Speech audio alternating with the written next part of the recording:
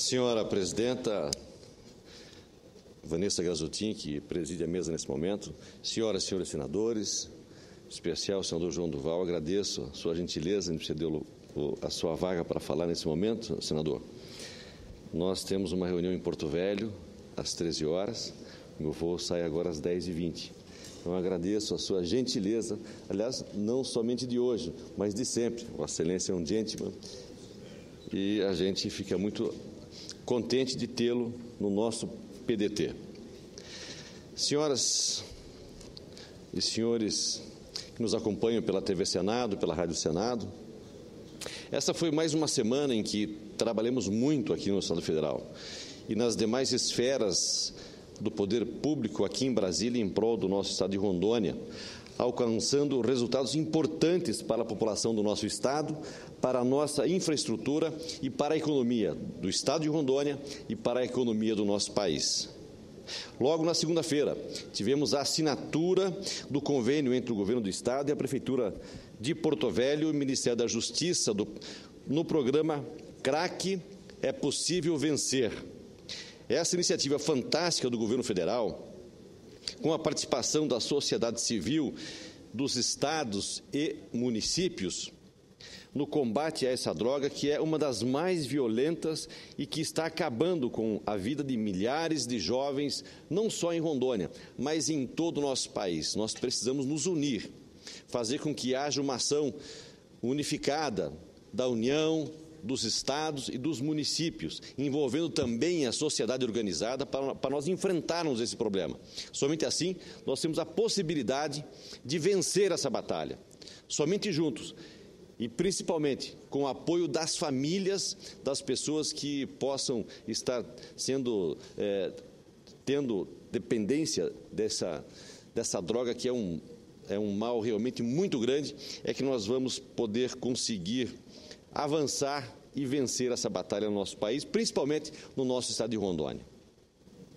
O programa CRAC é possível vencer, dispõe de quatro 1,1 bilhões para repasse de recursos ou aplicação direta em ações de combate ao crack nos estados, informou o ministro José Eduardo Cardoso. Além de uma série de medidas de assistência aos usuários de droga, Cardoso prometeu um duro enfrentamento do tráfico, inclusive nas fronteiras do país, para que o programa apresente os resultados esperados pelo governo federal. Há muito tempo venho somando esforços em iniciativas de combate à droga, principalmente na prevenção do uso de drogas pelos adolescentes e jovens, pois é quando as drogas passam a ser, além de um grande problema social, uma questão de saúde pública. Por isso, em 2010, lançamos a campanha Saúde Sempre, Droga Jamais. Juntamente com o Conselho Estadual de Entorpecentes, o CONEM, de Rondônia, e de diversas entidades e voluntários de nosso Estado para chamar a atenção das crianças, dos jovens, dos adolescentes e dos pais também, para que esse programa, para que esse problema que ameaça a família e toda a sociedade. Portanto, a implantação do programa CRAC é possível vencer na capital de Rondônia e em todo o estado, renova a esperança de que podemos sim vencer essa guerra contra as drogas. Destaco aqui a iniciativa da Prefeitura de Porto Velho, nas pessoas do prefeito Mauro Nazif e do vice-prefeito, o pedetista Dalto de Franco, de buscar o apoio do governo federal para enfrentar o problema das drogas na capital do meu estado assim como o esforço do governador Confúcio Moura e do secretário de Segurança Defesa e Cidadania, Marcelo Nascimento Bessa, que desde o início participaram da formulação desse programa no Ministério da Justiça. Tanto é que Porto Velho foi a primeira capital do país a assinar o convênio com o governo federal nesse programa.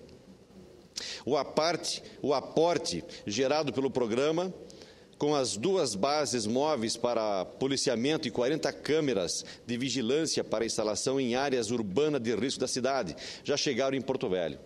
Áreas importantes, como próximo das escolas, serão instaladas estas câmeras que são da maior importância para auxiliar a, as nossas polícias. Além disso, o Ministério da Saúde deverá aportar recursos para o custeio dos centros de atenção psicossocial, álcool e drogas, os CAPs, em todo o Estado, para atender a dependentes químicos e pacientes com transtornos mentais. Em todo o Brasil, serão atendidas 112 unidades de CAPES, com o repasse de 230 milhões de reais para custeio e melhorias nessas estruturas. O governo vai repassar ainda neste ano valores para o financiamento de 270 comunidades terapêuticas em todo o país para atuarem no atendimento de viciados. Esse é o caminho. É o caminho que estamos trilhando desde 2010, quando iniciamos a nossa campanha Saúde Sempre, Droga Jamais, que é o caminho do enfrentamento dos entorpecentes, com ações de repressão, de educação de saúde e de tratamento aos usuários e dependentes químicos. Creio que agora todos os municípios do nosso estado poderão aderir ao programa CRAC É Possível Vencer, pois é necessário o empenho conjunto de toda a sociedade para combater as drogas e reforçar os valores e os princípios da juventude. Nossos jovens, nossas crianças, são nosso futuro. Eles merecem esse nosso empenho, esse nosso trabalho. Nesta quarta-feira, também estivemos juntamente com o secretário da Agricultura do nosso Estado, Evandro Padovani, juntamente com o ministro da Pesca e Aquicultura, nosso colega Marcelo, eh, senador Marcelo Crivella, onde conquistamos seu apoio para a atividade econômica que mais cresceu em Rondônia nos últimos dois anos, que é a piscicultura, que nesse período saltou de uma produção de 15 mil toneladas para quase 50 mil toneladas ao ano apresentamos ao ministro o pedido de repasse da estrutura do terminal pesqueiro de Porto Velho, que hoje é do governo federal, para a gestão do governo do Estado, no que fomos prontamente atendidos. Além disso, o Ministério da Pesca também vai liberar um milhão de reais para que o governo do Estado possa realizar as reformas e melhorias para que esse terminal pesqueiro possa funcionar também como um frigorífico e a agroindústria de beneficiamento pescado, para que possamos produzir hambúrgueres de peixe e introduzir essa dieta da merenda escolar em todo o estado de Rondônia, além de podermos exportar peixe para outros estados e também para outros países. Como bem colocou o ministro, Durante a audiência, Rondônia é um colosso na produção do pescado e em breve tornará, se tornará o maior produtor do país. Temos todas as condições climáticas, de água, de solo, bem como estamos trabalhando no aperfeiçoamento das condições técnicas e científicas para o desenvolvimento da atividade. Nesse sentido, o apoio do Ministério da Pesca para a instalação do Centro Tecnológico de, de Piscicultura no campus da Universidade Federal de Rondônia, a Unir de Presidente Médici, será de grande importância para o desenvolvimento desta atividade e da economia do nosso estado de Rondônia. Sem esquecer que também assumimos compromisso em apoiar as iniciativas das cooperativas, associações rurais, produtores e empreendedores na construção de tanques para a criação de tambaqui, pirarucu, tucunaré e outras outros e os mais cobiçados peixes da Amazônia. Não esquecendo também das colônias de pescadores, que nós temos uma atenção especial em ajudá-los para que possam integrar todo esse programa de desenvolvimento do pescado no nosso estado, principalmente na região de Porto Velho. Outro assunto que tratamos com o secretário de Agricultura de nosso estado foi a questão do preço do milho no estado de Rondônia. Outro, é, Rondônia tem se destacado na produção de milho, com uma área plantada de 175 mil hectares e produção de 225 mil toneladas, segundo dados divulgados pelo IBGE, para o período de 2012 e 2013. Houve um ganho de 26% na produtividade média do milho em Rondônia, sem o aumento da área plantada. No entanto, os produtores vêm reivindicando desde o ano passado o realinhamento do preço mínimo do milho em Rondônia, pois o preço atual é de R$ 13,56 a saca em Rondônia, enquanto o valor pago pela Conab aos demais estados da região norte é de R$ 21,6 a saca. Para a região norte e estado de Rondônia, o preço mínimo foi reajustado em 4% em 2013. A pergunta que fizemos ao Ministério da Agricultura e para a Conab é exatamente essa. Por que Rondônia, que tem todo o seu território na região norte, não recebe o preço mínimo pago aos demais estados da região norte? No ano passado, já protocolamos ofício ao Ministério da Agricultura fazendo exatamente essa pergunta e cobrando o realinhamento do preço mínimo e até agora não tivemos resposta alguma. O custo da produção de milho em Rondônia, segundo cálculos da Embrapa, gira em torno de 830 reais por hectare, o que dá uma média de 17 reais a saca de 60 quilos. O milho de Rondônia, que é de excelente qualidade, é comercializado diretamente com as empresas do setor ao preço de R$ 18,50 a 24,50 reais. No entanto, o preço mínimo pago pela Conab para a formação de estoque não é atrativo. O problema é que essas empresas levam o nosso milho para fora de Rondônia e ficamos sem estoque para o consumo interno, para alimentar nosso rebanho bovino de aves e suíno, conforme nos informa o secretário da Agricultura, o senhor Evandro Padovani. Por isso, insistimos na proposta que o MAPA, por meio da Conab, compre parte da produção rondoniense de milho e mantenha esse estoque nos silos do Estado para servir o nosso mercado, o mercado de Rondônia. Não podemos ter essa diferença de preço mínimo para o milho entre os estados, ainda mais considerando que os custos de produção em Rondônia são maiores do que nas regiões sul e sudeste. Outro assunto que trago para conhecimento da população de nosso estado diz respeito ao programa Luz para Todos do governo federal, que tem sido de grande importância para levar energia elétrica para a área rural e para, as, para os rincões do nosso Brasil, mas que está em débito com o nosso estado de Rondônia.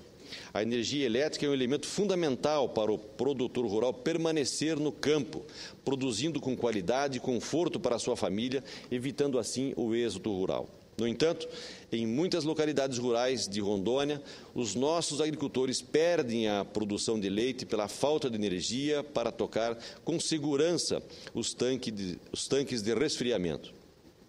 Transportam o leite para os laticínios em galões sem qualquer resfriamento, porque não há energia elétrica para manter o produto resfriado. A bancada federal de Rondônia já se reuniu com o presidente da Eletrobras o doutor Marcos Madureira, que informou que a previsão em Rondônia era de 40 mil ligações e que já foram efetuadas 73 mil, mas que ainda são necessárias pelo menos mais 13 mil ligações. Na próxima semana, novamente, a bancada irá cobrar as providências para que a Eletrobras dê continuidade nas ligações do Luz para Todos em Rondônia. Entendo que um Estado que tem duas grandes usinas de elétrica no Rio de Madeira em construção não pode se privar de energia elétrica para a nossa população.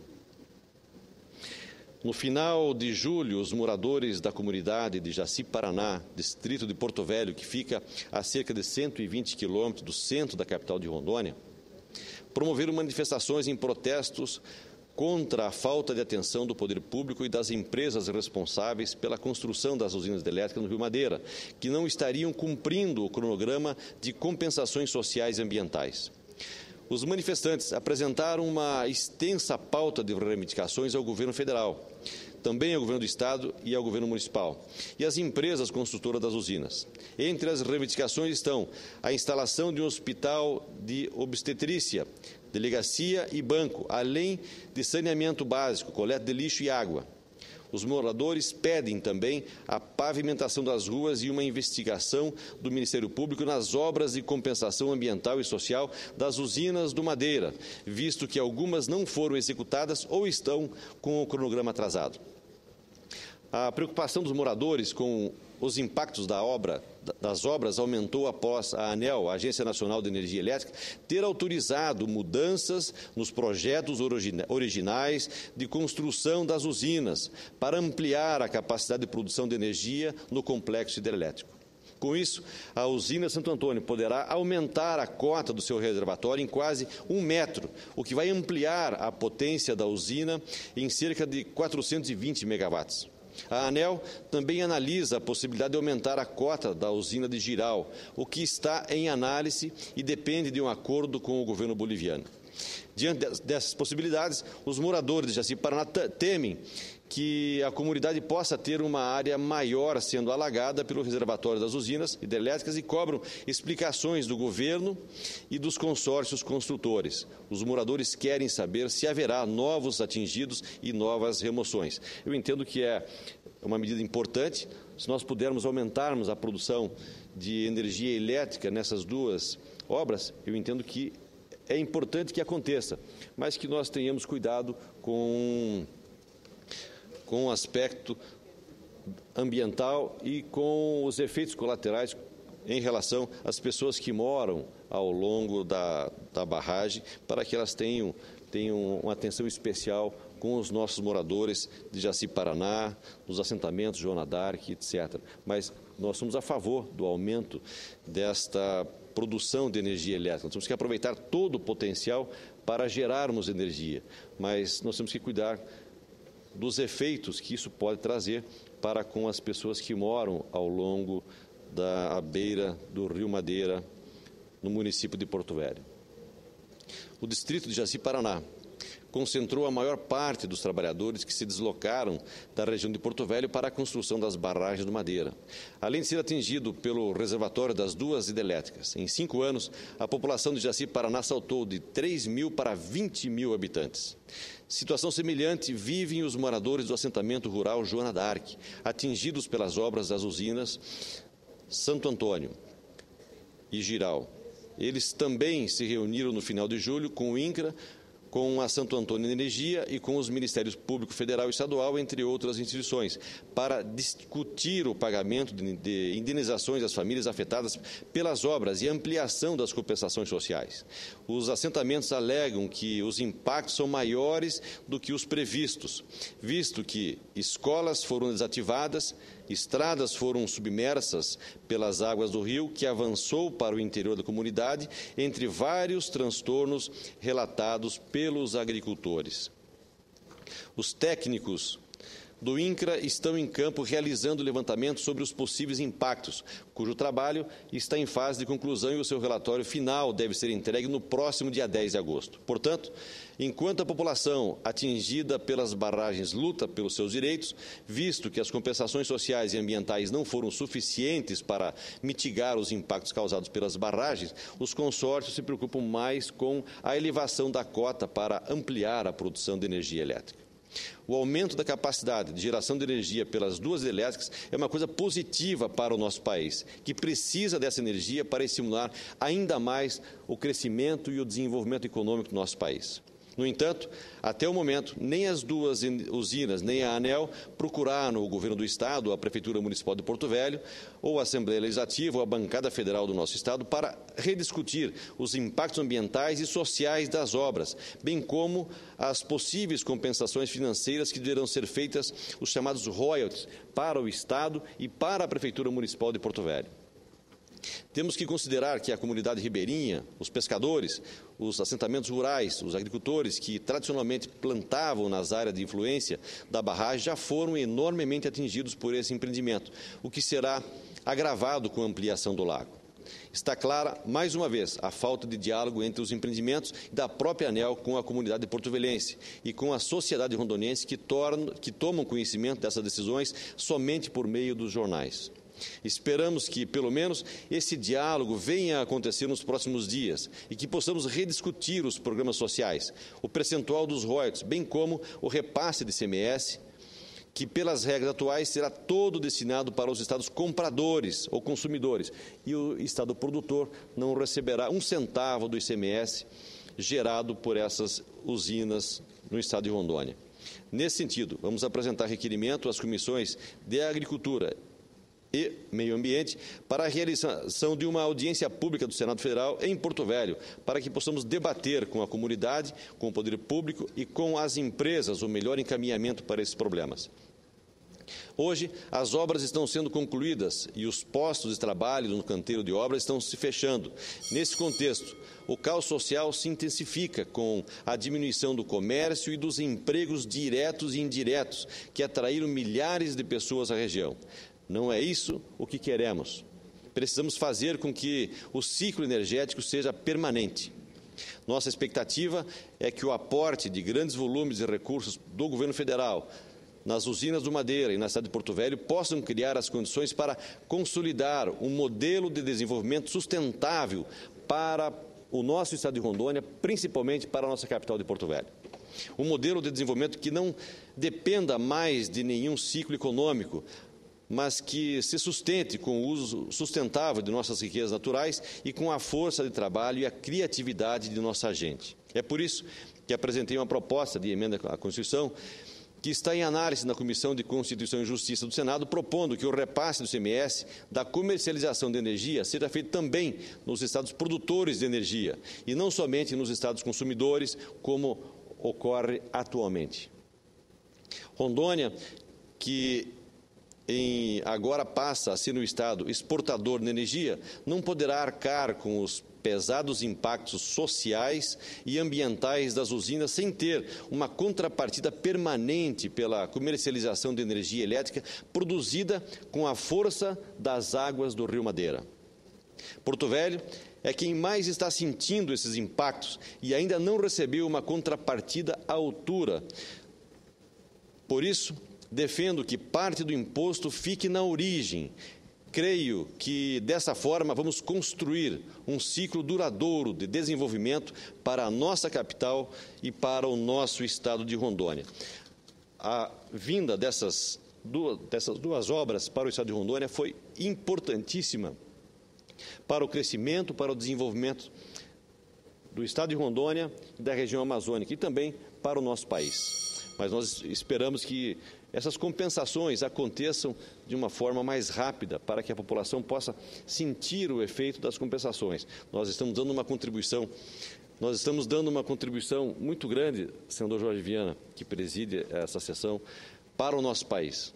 Rondônia, com a construção dessas duas usinas, se sente é, confortável e feliz por poder contribuir para a geração de energia elétrica para o nosso país, também contribuindo para o crescimento, para o desenvolvimento nacional. Mas nós precisamos ficar com um pouco desta riqueza no nosso estado, principalmente na nossa capital, em Porto Velho, que sente muito com a saída das pessoas que estão trabalhando hoje nas usinas, per perdem os seus empregos e as famílias ficam é, bom, sem, sem horizonte de trabalho, e nós precisamos dar uma resposta positiva. É por isso que nós precisamos criar um polo de desenvolvimento, um polo industrial no nosso estado, pautado na pesca, na agricultura, usando as as atividades que nós temos, as riquezas naturais que nós temos no nosso estado, para que a gente possa gerar emprego, gerar riqueza para o nosso município de Porto Velho, para a nossa capital, para o nosso estado e melhorar a qualidade de vida das pessoas que moram no estado de Rondônia, mas principalmente na nossa capital, em Porto Velho. Eram essas as minhas colocações, senhor presidente. Agradeço a oportunidade, agradeço mais uma vez o senador João Durval por ter me cedido eh, o tempo para que eu pudesse me pronunciar. Muito obrigado, senhor presidente. Eu cumprimento Vossa Excelência, senador Assir Gugax, e ontem mesmo nós tivemos com a presidenta da República e o desejo da presidenta é agora andar com a concessão de 7 mil quilômetros de rodovias, são mais de 10 mil quilômetros de ferrovias. Com isso, o Brasil segue dono, mas passa para o setor privado a gestão do serviço. E acho que nós vamos ter aí uma soma, além de portos, que são mais de 40 portos privados que estão sendo implantados, aeroportos também, e não é um processo de privatização, é um processo de concessão, o que é muito interessante, porque com isso o governo tem um papel regulador, estabelece as regras e o setor privado vai fazer aquilo que cabe a ele, que é ser gestor é, de é serviço que não cabe ao governo fazer. No fundo é uma parceria. É uma né? parceria assim. e nós esperamos ansiosamente, eu tenho certeza que Vossa Excelência também, pela chegada da ferrovia. Nossa ferrovia. Em Porto Velho, em Rio Branco, que ela possa seguir até o Pacífico. Exatamente. Mas, nesse momento, a chegada em Porto Velho é, é, de fundamental importância para que depois possa chegar ao Acre também. Eu tenho certeza, eu sei que isso faz parte desse, desse é, plano da nossa presidenta. Nós conseguimos colocar no PPA 2012 a 2015 a chegada da ferrovia até Porto Velho. Aliás, não a chegada, senador Jorge Viana, mas iniciando em Porto Velho para que ela venha encontrar com a malha ferroviária brasileira em algum momento. Ao passo que ela começar em Porto Velho, os primeiros quilômetros ela já poderá ser utilizada. Em contrário, nós poderíamos utilizar somente quando ela chegar em Porto Velho. Nós fizemos ao contrário, a, aquela, aquela, essa quantidade enorme de caminhões que hoje utilizam a BR-364 poderão já começar a utilizar parte dessa ferrovia. Sem dúvida. Muito obrigado.